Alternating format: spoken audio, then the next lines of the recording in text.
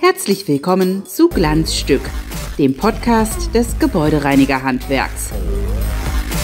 Viel Spaß beim Reinhören. Glanzstück Folge 4, kurz nach Ostern. Und heute sprechen wir mit Deutschlands oberstem Gebäudereiniger, wenn man das so sagen will. Herzlich willkommen, Thomas Dietrich. Herzlich willkommen, Herr Glück. Um Sie kurz vorzustellen, Sie sind bundesweit tätiger Unternehmer mit rund 4500 Beschäftigten. Ihre Zentrale liegt in Wuppertal.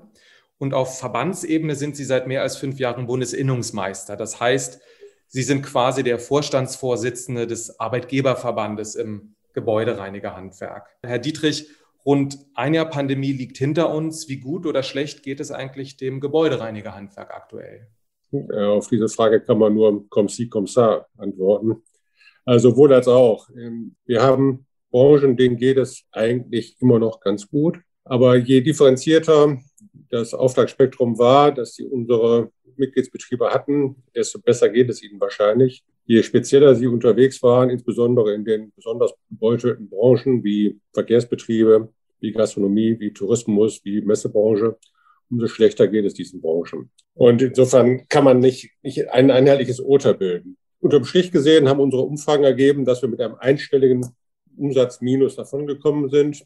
Die Erträge sind unterschiedlich eingebrochen, zum Teil Ausgleich durch zusätzliche Aufträge, insbesondere Desinfektionsmaßnahmen, die natürlich im großen Stil zusätzlich angefallen sind oder angefragt waren und angefallen sind, gibt es Betriebe, denen es wirklich schlecht geht. Also unterm Strich gesehen, mit dem blauen Auge davon gekommen. Jetzt hat man ja sehr auf 2021 gehofft. Jetzt sind wir schon im April. Wie sehen Sie die Prognose für 2021? Schwieriger als erwartet? Wie ist das Jahr gestartet? Oder wird es irgendwie in der zweiten Hälfte Ihrer Meinung nach besser? Zum Anfang des Jahres waren wir alle eigentlich guter Dinge, dass im Laufe des ersten Halbjahres irgendwann das Impfen so viel Fahrt aufgenommen hätte und vorher das Testen so viel Sicherheit gesorgt hätte, dass dann ab Sommer diesen Jahres auch verbunden mit der Wärme und der Hitze in Summe wir wieder einem, einem Öffnungsstrategie positiv entgegensehen könnten. Durch die Ereignisse der jüngeren Zeit müssen wir davon ausgehen, dass wir deutlich länger als ursprünglich angedacht noch mit den verschiedenen Konsequenzen aus dem Lockdown leben müssen. Und das führt zu Frust. Das führt zu, zu einem Frust und das führt zu deutlich schlechteren Erwartungshaltungen für das Jahr 2021 als noch vor drei Monaten. Wie empfinden Sie das politische Krisenmanagement? Was sind gute Dinge? Was sind Dinge, die Sie ähm, als kritisch beschreiben? Für uns ist erfreulich gewesen im Jahre 2020, dass im Jahre 2020 die Regierung als gemeinschaftliche Regierung aus CDU, CSU und SPD ein vernünftiges Krisenmanagement an den Tag gelegt hat. Wurden wir überall für gelobt. Es gab keinen Streit. Es gab ein, gutes Krisenmanagement und es gab Perspektiven. Und je länger die Pandemie andauert, desto schlechter wird das Krisenmanagement eigentlich betrachtet, in der Branche grundsätzlich kritisch betrachtet. Wir selber konnten für uns im Jahre 2020 einige Erfolge erzielen. Das Thema Stichwort Systemrelevanz als Beispiel. Aber was jetzt passiert mit den Nachteilen des föderalen Systems, mit den Nachteilen, dass die sich aus dem Wahlkampfgeschehen daraus ergeben, müssen wir und ich auch selber das Geschehen als zurzeit absolut schädlich empfinden. Wir glauben, dass zurzeit das Krisenmanagement nicht gut ist. Das heißt, dass das Pandemiejahr 2021 auch zeitgleich ein Bundestagswahlkampfjahr ist, tut der ganzen Sache nicht gut, richtig? Absolut. Das ist eine Katastrophe. Also wir empfinden, dass mittlerweile manche, manche Partikularinteressen einzelner Leute deutlich über den Interessen des Staates stehen. Und das sollte anders sein. Und Merkel hat bei Anne Will gesagt, sie hätte einen Auftrag. Wäre schön, wenn alle Leute sich an ihren Auftrag erinnern würden, dass sie Vertreter des Volkes sind und nicht ihre eigenen Interessen. Das wäre gut. Was sind denn auf den Punkt gebracht? Ich weiß, es ist ein größeres Feld, die Herausforderungen für die Unternehmen. Also mit welchen großen Schwierigkeiten haben Sie tagtäglich im Management der Krise zu, besonders zu kämpfen? Also wir haben letztes Jahr, letztes Jahr seit Beginn der Krise 140 Rundschreiben rausgebracht als Verband. Das zeigt eindeutig mal auf, was da zurzeit von uns verlangt wird und wie schnell irgendwelche Änderungen kommen. Wichtig wäre, Und das, daraus leiten sich auch die Schwierigkeiten ab, wenn wir ein einheitliches Corona-Management-System, Bearbeitungssystem und einheitliche Corona-Schutzverordnungen in einzelnen Bundesländern hätten. Die haben wir aber nicht. Wir haben zum Teil sogar Corona-Zeiten gehabt, wo wir gar keine Corona-Schutzverordnung hatten aber trotzdem hat jeder erwartet, dass wir uns daran halten müssten. Und wenn Sie meinetwegen in Ludwigshafen sind und dann drei Bundesländer um sich herum haben, wo die Dinge unterschiedlich gehandelt werden, dann stellt sich die Frage, was muss man jetzt gerade tun? Und wenn wir für unsere Mitarbeiter in den verschiedenen Ländern, die deutlich unterwegs sind, in verschiedenen Bundesländern, dem mitteilen müssen, du hast dich in dem einen Land so zu verhalten, im nächsten Bundesland so zu verhalten, im dritten Bundesland so zu verhalten, dann ist das schwierig. Dann kommen die ganzen extremen Dokumentationspflichten hinzu. Und wenn ich jetzt daran denke, dass wir testen müssen. So ist zumindest jetzt ja noch ein Appell. Ich unterstütze ausdrücklich den Appell. Aber ich beschäftige mich gerade persönlich sehr stark mit der Frage, ob ich so ein Testzentrum bei mir selber aufstellen soll. Und wenn man sich dann mit der Stadt und mit den Gesundheitsämtern und mit den Betreibern unterhält, was das alles für auf, mit, mit welchen Auflagen das verbunden ist, was man dafür tun muss, welche Dokumentationspflichten man erfüllen muss, dann ist das nicht einfach. Und das ist ein grundsätzliches Problem. Und je kleiner die Einheiten, je kleiner die Firmen sind, je weniger Leute man damit beschäftigen kann, desto schwieriger ist das Ganze. Zeit für den Verband. Sie haben die Tests für die Unternehmen schon äh, angesprochen. Das ist ja, ich sag mal, die Brückentechnologie in Anführungszeichen, bis es mit dem Impfen richtig, richtig gut klappt. Eine Diskussion gibt es über die Verpflichtung von Unternehmen oder über die, um die freiwillige Selbstverpflichtung der Unternehmen. Wie ist da Ihre Position? Eindeutig freiwillig. Wir stellen uns mal vor, ich müsste für alle meine Mitarbeiter sicherstellen, dass sie zweimal die Woche getestet werden. Und das in Objekten, die im platten Land irgendwo sind, wo abends gereinigt wird, meinetwegen Tonhallen nach 22 Uhr oder nach 21 Uhr oder morgens früh, ganz früh. Wie soll ich diese Leute erreichen? Wie soll ich sicherstellen, die das wirklich machen? Von mir aus, ich kann Termine versuchen zu vereinbaren, aber das kann ja nur auf Freiwilligkeit beruhen, denn die Mitarbeiter müssen ja nicht, sich nicht einem Test unterziehen. Sie können sich diesem Testangebot anschließen und das ausnutzen. Also ein extremer bürokratischer Aufwand, der damit verbunden wäre, mit hoher Unsicherheit. Insofern glaube ich, dass die Firmeninhaber, die einen guten sozialen Kontakt zu ihren Mitarbeitern haben, von sich aus ein großes Interesse daran haben, das Menschenmögliche zu tun und ein, eine gesetzliche Verpflichtung obendrauf zu setzen, würde das Ganze wahrscheinlich nur noch konterkarieren. Bei aller wirtschaftlichen Problematik hat die Krise der Branche aber auch eine neue Art von Wertschätzung gebracht. Einfach als Stichworte politische Systemrelevanz, mehr Sichtbarkeit, zum Beispiel durch die Tagesreinigung an, an Schulen und generell Rückenwind für die Themen Hygiene und Sauberkeit. Meinen Sie, dass dieser Imagegewinn über die ähm, Krise hinaus konserviert werden kann? Ich hoffe es. Und da leben wir vom Prinzip Hoffnung. Wir hoffen, dass dieser, dieser positive Effekt, wahrscheinlich der einzig positive Effekt neben dem Thema Schnelligkeit, Digitalisierung, den die Corona-Krise mitgebracht hat, nämlich dass wir bewusst, bewusster in dem Lichte der Öffentlichkeit sind, dass dieser positive Trend anhält und dass man hoffentlich auf sich gesehen auch dem Thema Hygiene und Sauberkeit mehr Bedeutung beimisst und auch bereit ist, mehr Geld dafür auszugeben. Denn letztendlich hängt das davon ab, dass unsere Auftraggeber bereit sind, in Budgets für das Thema auszugeben und einzuplanen. Also Systemrelevanz gut.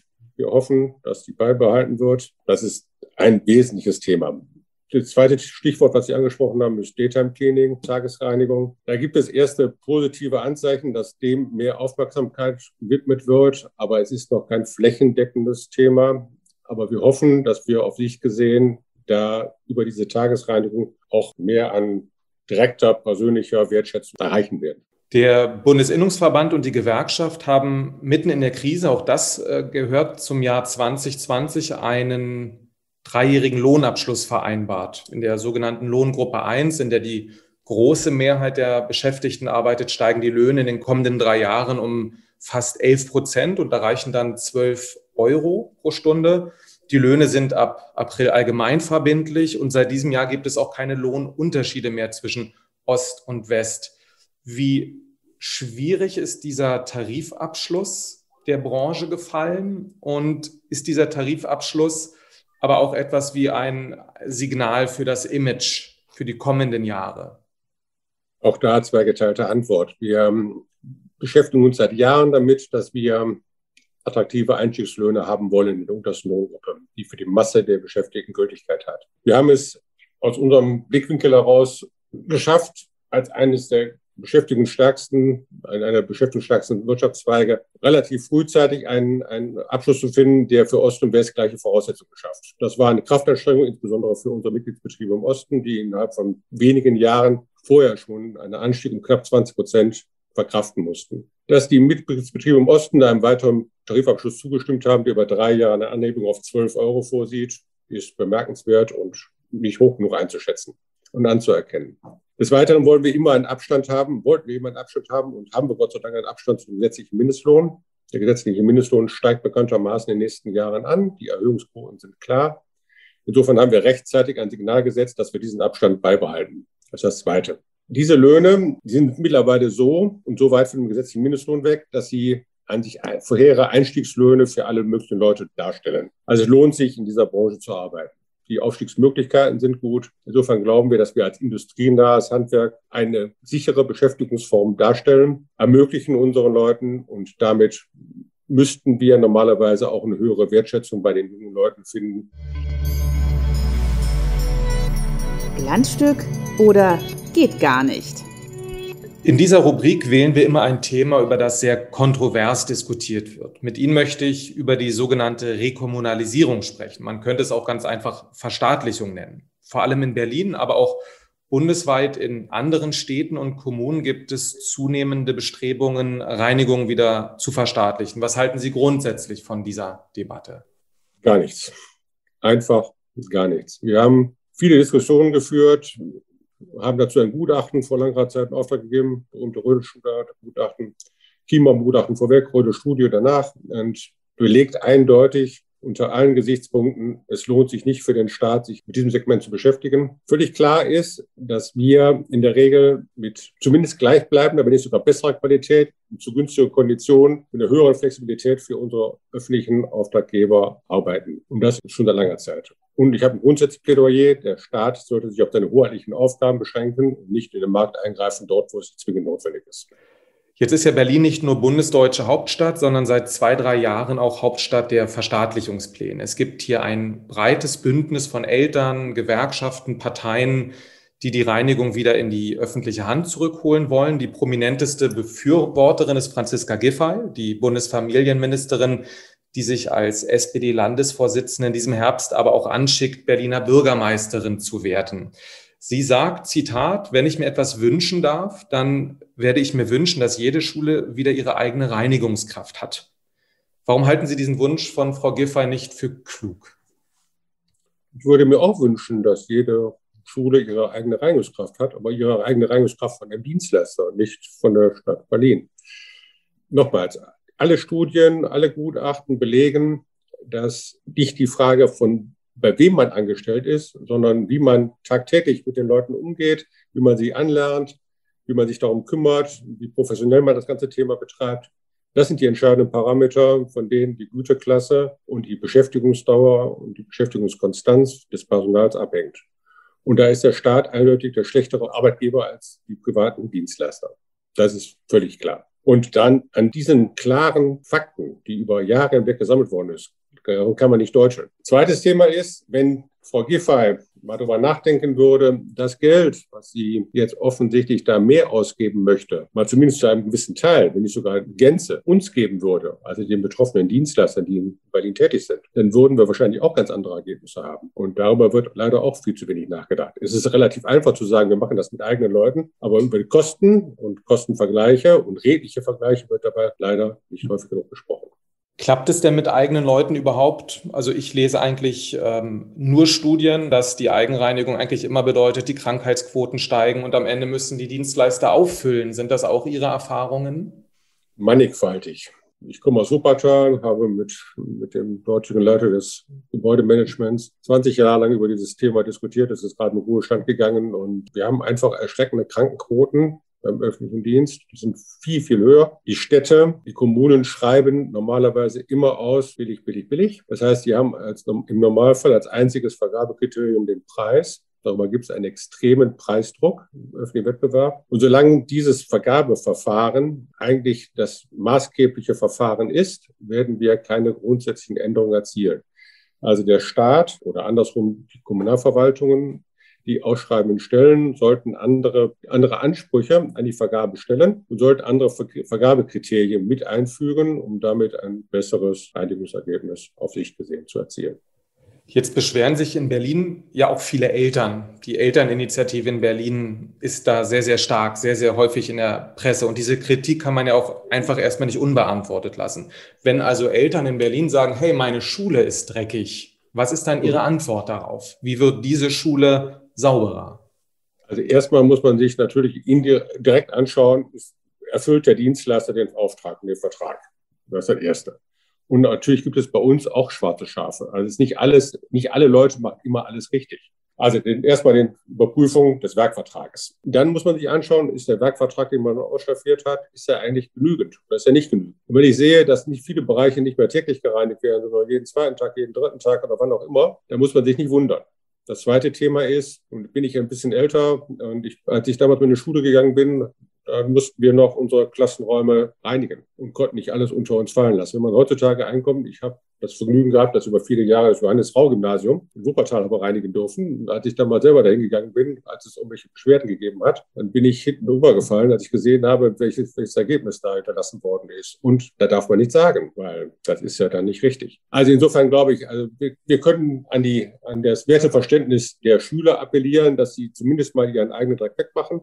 Wir können daran appellieren, dass vernünftige Reinigungsrhythmen, Reinigungsrhythmen eingezogen werden, verbunden mit einem vernünftigen Leistungsverzeichnis, das zumindest sicherstellen sollte, dass wenn die Leute vernünftig reinigen, wir ein gutes Ergebnis haben. Und das sollte geprüft werden. Und der Wettbewerb sorgt ja auch dafür, dass auch der Vorteil der Fremdvergabe gegenüber der Eigenvergabe sollte wieder erwachen, tatsächlich der Dienstleister nicht den Anforderungen genügen, dann kann er ausgetauscht werden.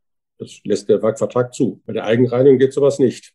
Und insofern gibt es darüber auch ein ganz deutliches, scharfes Schwert, das auch eigentlich pro Fremdreinigung sprechen sollte. Letzte Frage in diesem Bereich, die das Thema nicht ganz, aber zumindest auch berührt. Denn in Berlin geht es nicht nur um die Verstaatlichung von Reinigungen, sondern in Berlin gibt es auch oder gab es auch den höchsten Vergabemindestlohn mit 12,50 Euro bei öffentlichen Aufträgen, zumindest bis dato. Jetzt zieht ab Mai 2021 Brandenburg nach mit einem Vergabemindestlohn bei öffentlichen Aufträgen von 13 Euro.